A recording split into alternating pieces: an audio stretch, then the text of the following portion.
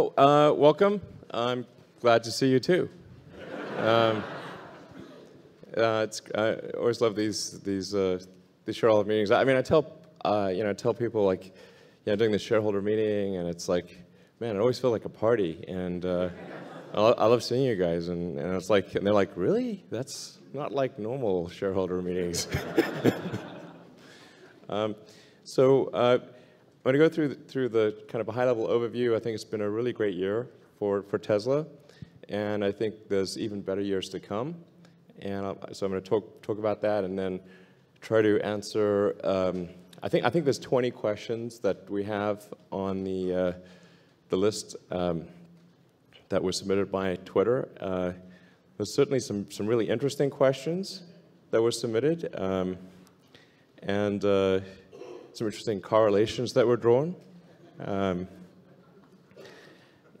we couldn't get to them all, uh, but uh, we'll, we'll, try to get to, I think, the, uh, the 20 that I think are most significant for the year ahead of us.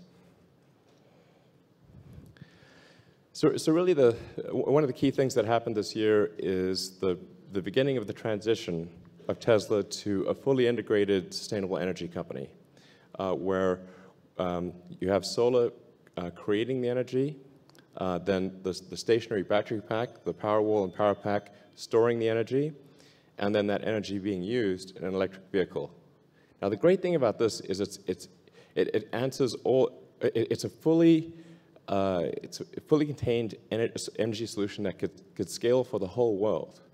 And I'm going to um, get into that for a moment. But it's something where you can imagine as far in the future, well, well, well beyond human civilization, which I hope lasts a really long time. Um, uh, that, that this is something that, that would last for really, you know, this is, this, this works. And, and, and there, I think there are no unanswered questions. Um, you know, even, the, the, even the gigafactory or the gigafactories that, that make these products will be powered by sustainable energy. So like, I, I really don't think there's any um, hole in, left in the argument uh, you know, because when we are making electric cars, people would say that, well, they're just, uh, they're really coal powered. And, and there's like the long tailpipe, you know, and the type tailpipe is really over there by the power plant. And we're like, yeah, but you know, we, we're going to have sustainable energy generation too. Um, and, and then, but, but then you can't still have gasoline cars. So you to have electric cars, sustainable, sustainable energy uh, production, and then you got to store that energy because the sun don't shine at night. Real simple. One, two, three. it's been amazingly difficult to explain this. I'm like, it's only three pictures there, man. I mean, come on. so, um, with the solar roof, um, the, the, the, solar roof we're really trying to address at the residential level, I think one of the fundamental inhibitions of, of, of adding solar, which is aesthetics. Um, people love their homes. They want their homes to be beautiful.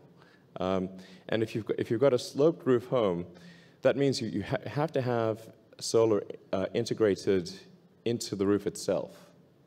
Um, and so what we created here, I think, is something that's going to be incredibly revolutionary, where it's beautiful. In fact, I think it looks better than a normal roof. Um, in, in, doing this, we were trying to find examples of roofs, and, and it's like, man, take a look at roofs next time you're driving down the road. You're like, whoa, they're not good. Um, so this is a roof that's going to be better looking than a normal roof. Um, it, it's going to last practically forever. Um, like I wanted to have an, an, infinite year warranty, but then the finance department said, well, that's difficult to account for. Um, so I said, well, okay, it's infinite or when your house falls down, whichever comes first. Um, get the message across. Um, but basically, it's going to last forever. You think of like, like a cathedral with stained glass windows. Those stained glass windows are about the only thing, and the, and the stone walls, the only thing that's lasted over half a, half a millennium. Um, so, um, so, so, great looking, durable, um, affordable when you consider the cost of a roof and the cost of, of, uh, of electricity from the utility. And this is going to vary quite a lot by, by region. So it depends on what property taxes are, what uh, the cost of financing is, and what the cost of power from the utility is. Um, but um, uh, we're, we're, confident that this is going to be something that is um, e either actually makes you money or is close to break even for most of the country, uh, which I think is, is really, really profound. Now, there's still a, there's still a, very important role uh, for the traditional uh, kind of flat panel uh, uh, solar. And so that's still going to be a very important part of our business going forward. Uh, because whenever you've got a flat roof situation, which is most commercial installations are flat roofs, and uh, or if you've got a residence that's got a flat roof and the, and it's not visible from the street, then then then there's no need to go with um, with solar glass tiles because aesthetics are no longer a factor. You can't see it. So that's, I just want to emphasize that, that traditional uh, so, solar is still going to be a very important part of, the, of uh, the business going forward.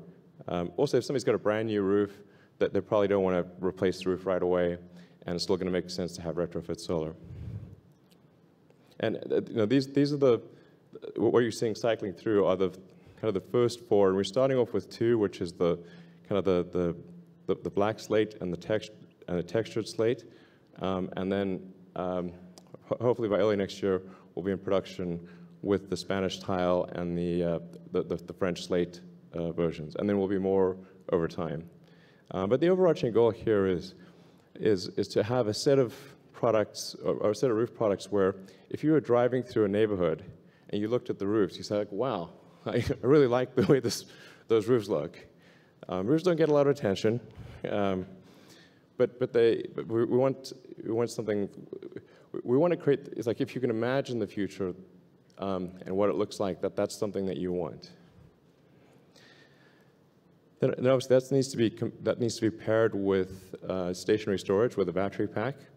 Uh, the battery packs are important for a number of reasons and they uh, um, because the solar solar power obviously peaks during the middle of the day and then it's low at dawn and dusk and it's not there at night so you need something that is uh, load leveling the power, so it's, storing it uh, when there's high power generation, releasing it when you, when you have low power generation.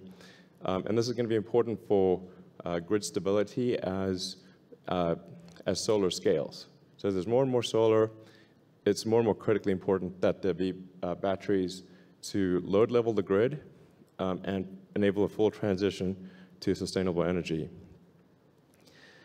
Um, so that, oh, and then it has a, a, great, a great advantage, which I think it's, it's the kind of thing where you only really notice it when the power's out. Like there were frequent power outages um, because a substation went down or a bird flew into wires, uh, or in many parts of the world, power is intermittent and they have to have uh, generators which run on very expensive diesel fuel.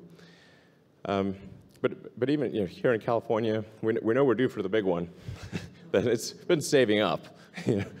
um, so there's going to be you know, earthquakes in California. There'll be, there'll be hurricanes in the southeast. Uh, there'll be ice storms in the northeast. Uh, there's floods. There's, there's all sorts of things that cause uh, electricity interruption. Um, and, and we're very dependent on electronic devices. So people might say, well, it's not a problem. I'll call 911. Well, how are you going to do that if your phone is dead? Okay, that's real hard. Um, and you know, if, if, if all your devices are, are gone because of a power outage, um, we're so dependent on devices these days that it's actually a significant safety and security concern. So the nice thing about having the Powerwall, particularly the Powerwall 2, is that it's, it's, uh, it's like having an uninterruptible power supply for your house. And like I said, it's like buying insurance. It's sort of like the kind of thing that when, when you need it, you really, you really need it. And so I think that's a, an important advantage that uh, is uh, sometimes uh, overlooked. And we've got the, the Powerpack side. This is for um, big utility uh, scale installations, as well as, I should point out, a very important market, which is uh, commercial and industrial. Uh, so we've done some of the biggest, in fact, maybe the, I think the biggest, still the biggest um, battery installation in the world in Southern California. Um, and that took over from what was a natural gas peaker. And that's an operation, it's doing well. We've got a, a huge system in um, Hawaii, in Kauai, which is responsible for 20% of Kauai's peak power generation. Um, and then we've got a system in American Samoa which uh, powers the whole island. It's totally off grid. Um, and I think that's a, that's, that's a, a great example of, what the, where, of the potential. Because in the limit, a continent is, is a big island. Okay, it's a big island, but it's called a continent. Um, if you can make, if you can, if you take an island and, and have that completely run on solar and, and batteries, you, you can do that with a continent. Um, so the potential there, I think, is, is incredibly exciting. Uh, we've also, now with the latest version of the phone app, integrated the, uh, uh, the, the Powerwall and solar with the Tesla app. So now you can see on your, uh, on, in terms of list of products, no longer says just vehicles, it says products. So now you can see the Powerwall is on there um, and solar. So you can see the status of your Powerwall. You can see what your, whether your solar system is functioning well, how much energy you're producing. Um, It'll show you um, yeah, how much energy you're producing, how much is being stored, how much is being consumed, um, and, um, and, and, and, and, and, then how that relates to the car. And so you have a really well integrated system that combines solar uh, storage and your, your vehicle. And, um, and I think there'll, there'll be a few other things in the future that maybe people aren't expecting as well. So you can see uh, your, your, energy usage during the day, so you can tell if maybe you should be turning off certain devices or uh, reprogramming your uh, air conditioning system. Um, and uh, it gives you a good idea of like um, where you're using power that you may not even realize that you're using.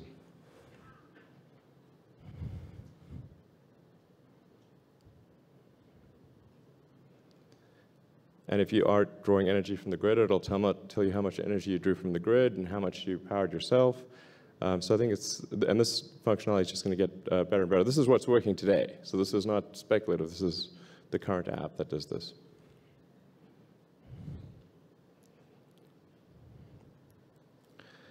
Um, from the standpoint of the customer experience, we're going to make a significant increase in the number of retail stores we have around the world. We think we've really barely touched the surface of what's possible on the retail side.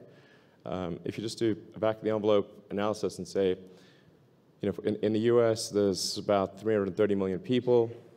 Um, how many stores per person should we have? Or how many, you know, how many people per store? It seems like probably over time, we'd want at least one store for every half million people.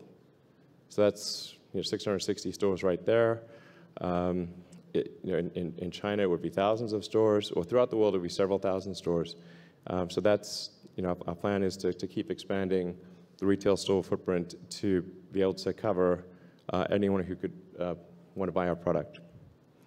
Uh, service has gotten better and better, so we now have fast lanes in service. So the wait times for service have gone down dramatically. It's obviously very important for uh, the Model 3 uh, we're also adding a lot more uh, service centers in anticipation of Model 3 production. Um, and this year, we will double the number of Tesla superchargers in the world. So we'll double one year over year. And I think next year, probably at least 50% increase, maybe double again next year. This gives you just a sense for how many superchargers there are in the world.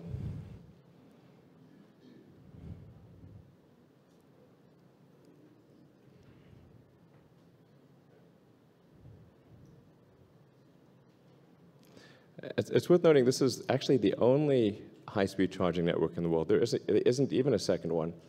I asked our, our head of head of our supercharger program, um, okay, well, what's the second best high-speed charging network in the in the world? And he said, well, there's this one place in the Netherlands, uh, but it's I think it's only like 60 or 70 kilowatts, but there's only one of it.